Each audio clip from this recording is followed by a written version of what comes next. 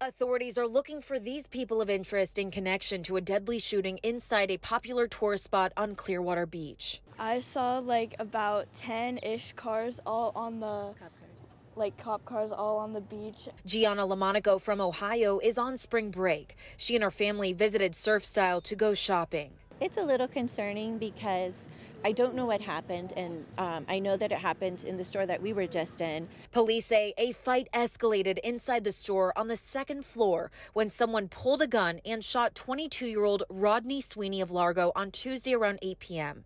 Authorities say Sweeney later died at the hospital. We've had some calls, um, nothing like this, but we do have an additional manpower out here right now to address spring break problems, but nothing like this.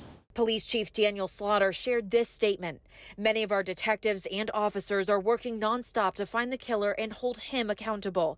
Detectives have interviewed dozens of witnesses and leveraged the technology investments made to ensure people who commit senseless violence are captured and prosecuted. Kind of disturbing because, you know, there's a lot of young kids and um, it's, it's spring break, so you don't expect to, you know, see a shooting